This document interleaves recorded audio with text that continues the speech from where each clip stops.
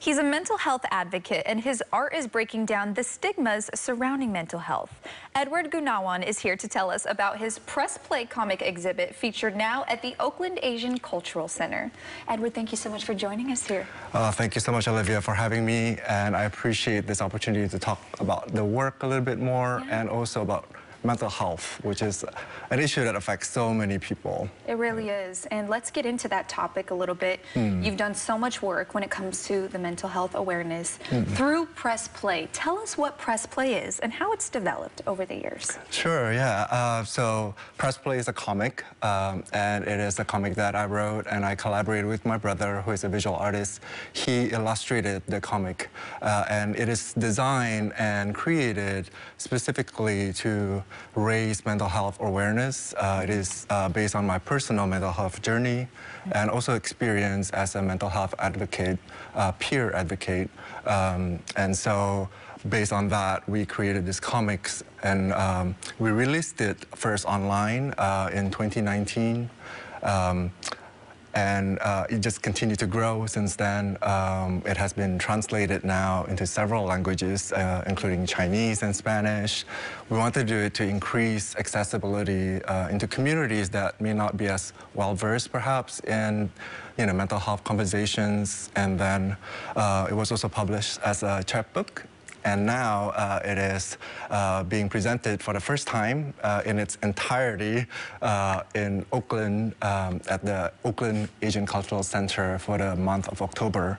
And we're doing it because uh, today, as we all know, it's World Mental Health Day. Mm -hmm. And so we want to commem commemorate that. Um, and so we hope that this event then can you know, provide the opportunity for people to come together and meaningfully connect with one another. At the same time, we are increasing and normalizing these conversations uh, so we can destigmatize those taboos. Yeah, and hmm. destigmatizing mm. mental health and all the things that come with it is super important. So the work that you're putting in, I know, uh, has so much value. When somebody is able to read this comic, what are they going to take away from it when it comes to mental health awareness? Mm.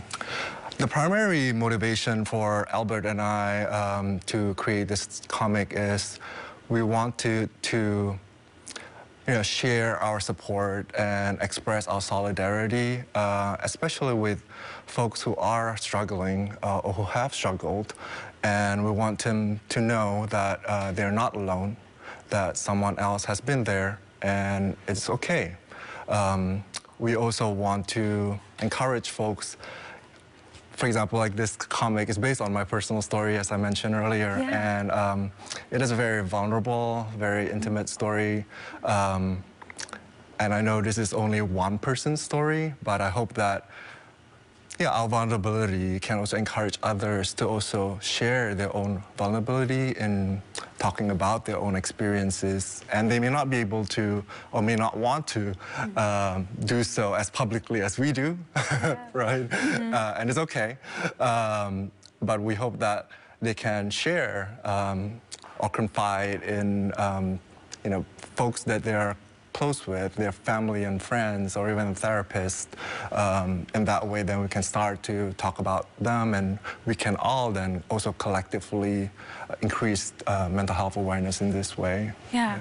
Well, Edward, being a mental health awareness advocate, how mm. have you seen this have an effect on mm. those who maybe are struggling with mental health? Yeah, one of the most powerful thing um, and the most gratifying thing as we go on this journey with this project um, is getting emails uh, from folks who have read the comic and um, express their gratitude and express their just the way that they felt seen and they felt uh, less alone and that was yeah that's really moving for me and makes it um, yeah why we it's really why we are doing this project yeah. uh, and if we can reach just one person you know that is yeah Ah, so Amazing. rewarding, I can only yeah. imagine. Well, before yeah. I let you go, I see you have something here on the couch. Did you bring something? Yes. So I brought you our chapbook. Um, Wonderful. So this is the comic panel that is being displayed at the Oakland Asian Cultural Center. Thank you and- and so much. So as a token of appreciation, I hope you like appreciate it. it. Look at how I just want everybody to get a really good look at this. This is so beautiful. Thank you so much, Edward, for joining Yeah, us yeah, here and bringing so much awareness to an incredibly important topic. We really appreciate it. Thank you so much. Of course. To check